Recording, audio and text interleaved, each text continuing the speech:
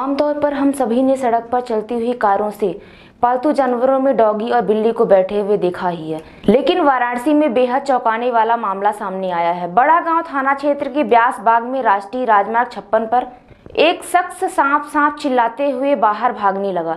आसपास के ग्रामीणों ने जब ध्यान दिया तो गाड़ी के अंदर से सांप निकलता दिखा। फ़िलहाल सांप को कड़ी मशक्कत के बाद ग्रामीणों ने गाड़ी से बाहर निकाला।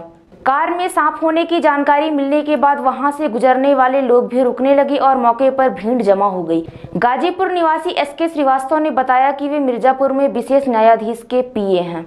बुधवार को वे अपनी पत्नी और बच्चों के साथ मिर्जापुर से एम्बेसडर कार से गाजीपुर स्थित अपने घर जा रहे थे। कार चालक मुख्तार अहमद कार चला रहा था। उसने बताया कि रिंग रोड फ़ेज़ दो से होते हुए कार जब एन एच पर पहुँची, उसी समय ब्यास बाग में कार के गियर बॉक्स के समीप खाली स्थान से कोबरा सांप ने अपना मुँह बाहर निकाला। ड्राइवर के बगल की सीट पर बैठे एस के श्रीवास्तव के बेटे की निगाह उस पर पड़ी तो वह बोला, कार में चूहा है।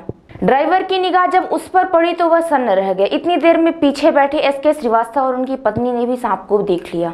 ड्राइवर ने कार को तुरंत रोक दिया। कार रुकते ही उसमें सवार लोग गेट खोलकर चिल्लाते हुए बाहर निकले। कार से चिल्लाते हुए लोगों को बाहर निकलता देख आसपास के दुकानदार भी वहाँ पहुँच गए। उसके बाद लोगों ने कार में रखे सभी सामानों को एक एक कर बाहर निकाला। उसके बाद सांप की तलाश करने लगे। करीब आधे घंटे बाद सांप को कार से बाहर निकालने में लोग सफल हुए। इस दौरान वहाँ लाठी डंडा लेकर खड़े लोगों ने सांप को पीट पीट कर मार डाला। इसके बाद सभी लोग कार में बैठकर गाजीपुर के लिए प्रस्थान कर गए। मामला सामने आने के बाद इलाके में चर्चा बनी हुई है।